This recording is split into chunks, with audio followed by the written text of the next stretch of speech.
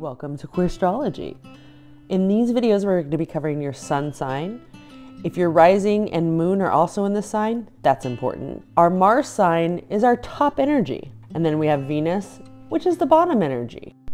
Now, I won't be covering the houses of the zodiac in these videos, but I do want you to take note if you have any placements in your natal chart in the fifth or seventh house, as they have to do with how you get down. Welcome to the Capricorn video. Uh, this is going to be so much fun, everybody. This is the first out of the 12 zodiac signs. Uh, now, Capricorn is actually the 10th zodiac sign.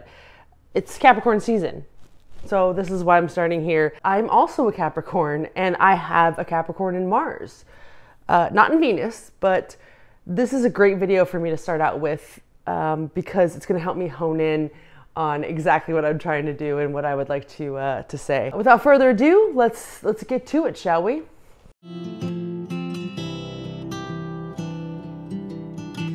So Capricorn is the Earth cardinal sign. Now there's Earth signs, there's water signs, there's fire signs, and there's air signs. Three of each of those. Now within each of those elements, there's three different modalities. There's cardinal, fixed, and mutable. The cardinal signs are the leaders, like in this case Capricorn, which starts the winter season. Then you move into the fixed signs, and those are the people that carry the weight. They're like the worker bees, they carry the brunt of the season. Rounding up the end of the season are the mutable signs, and they are really adaptable to change. They're used to that because things are ending. Capricorn, it's from December 21st to January 21st. It's noted as the sea goat, which is its little animal. And you'll see the symbol for it is kind of like an N thing, ruled by Saturn. And Saturn is the planet of karma and restriction. The good part of that relies on obstacles to create a stronger individual and wherever it resides in your chart. Which is something you also kind of associate with Capricorn usually. Capricorn, some of the main things that people say about them, there's positives and negatives. They're ambitious, they're hard workers, they're no nonsense.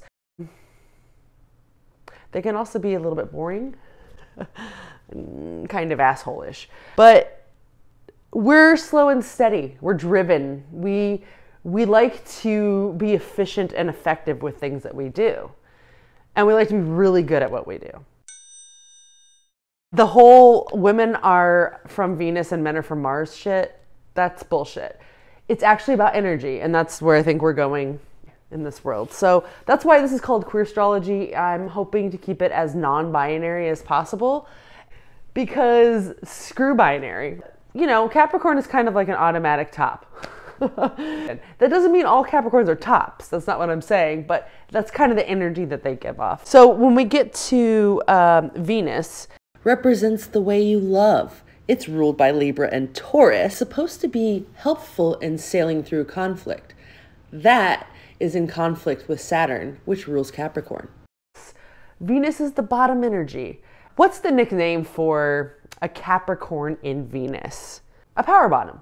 They feel like they're in control even when they're bottoming because Capricorns like to have control in general. And because they are an earth sign, they want to be grounded. They want to know everything's okay. So Venus stays in your chart for like four to six weeks, and it's your passionate planet. It's like, it's, it's, Venus is what you think of like the Venus statue, like love, romance, that sort of thing. And for Capricorns and Saturn, that we don't really have time for that. Our passion tends to get thrown into work a lot of the time. But when it's in your Venus, there is a there's an insecurity behind Capricorns and when you have it in Venus, it might come into the bedroom.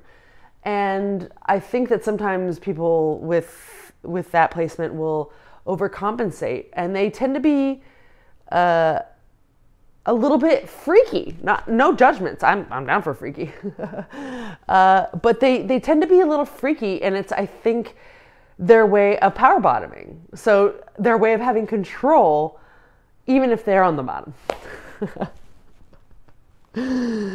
uh, but I will say, listen, if you have a Capricorn and Venus, Stop dating those bitches and those assholes. Just stop it. I know you like them. And I know you want to, you're drawn to them.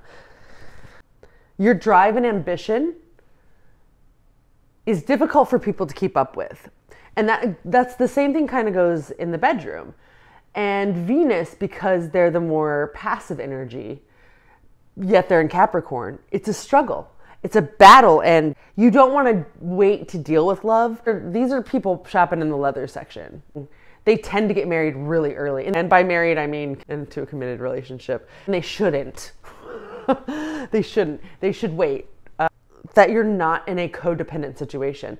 It's very important for these this particular placement because they like having control so much that they look for people that are very controlling. Venus and Capricorn when it comes to sex, they're grounded. They're down to earth. They want to please.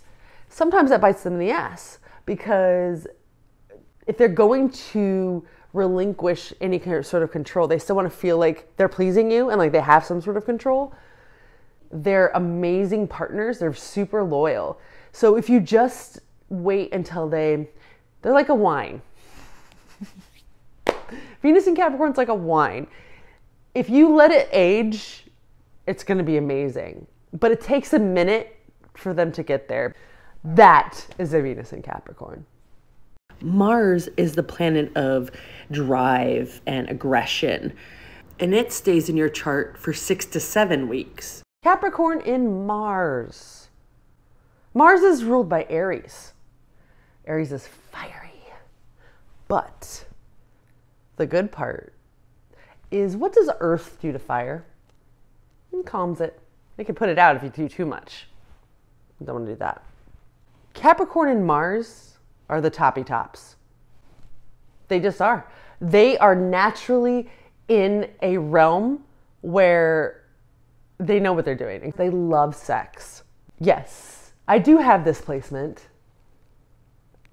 Capricorns tend to get this like like I was saying before kind of boring boring like thing attached to them. This is where they release. That's in the bedroom. And Mars, because it's that top energy and it's aggression and it's like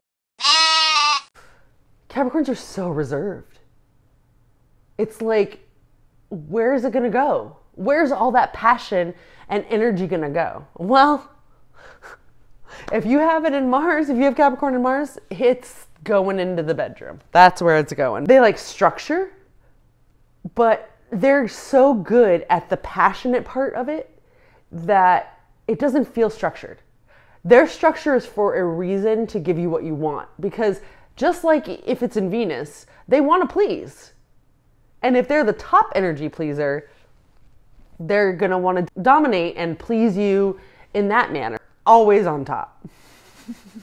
That's how it feels when you're with a, a, Mars Capricorn. They just want to be on top. I did want to go through and maybe give you a couple of famous Capricorns um, and, and this is Capricorn's in the sun sign. In fact, my chart doppelganger, his rising is Capricorn and mine is Sag. Other than that, identical charts were born an hour apart. Uh, that's John Legend. Bradley Cooper, Elvis, Jim Carrey, Michelle Obama, Diane Keaton, Betty White. Betty White is a Capricorn. And of course, Dolly Parton. Now, when it comes to Venus and Capricorn, Anthony Hopkins, Billy Idol, Sarah McLachlan. That means she's a freak. James Dean, uh, Rachel McAdams, Rick Ross. That's a bad dude right there. Capricorn and Mars celebrities. These are the sex god ones, by the way. Of Lady Gaga, Mia Kirshner, aka Jenny from the original L Word, Julia Roberts, Rod Stewart, Piper Kerman, who is Piper from Orange is the New Black, but the real one. Sara Gilbert, better known as Darlene from Roseanne. Bryan Cranston. Walter White himself is a sex god. So I guess my summary is this. Capricorn, the cardinal earth sign, ruled by Saturn, they work hard. They work very hard and they like it kinky.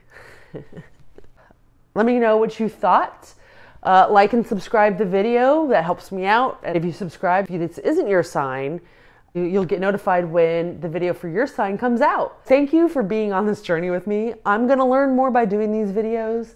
I hope everybody's doing well and happy 2021. Cheers.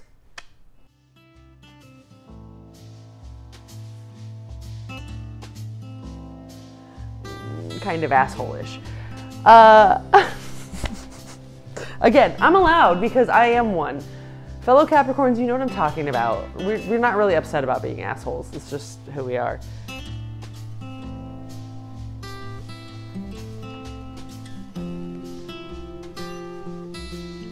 Hey! So, Capricorn and Mars. Do I agree with that astrologer? I mean, some people might. I don't think that's my decision, but. Uh,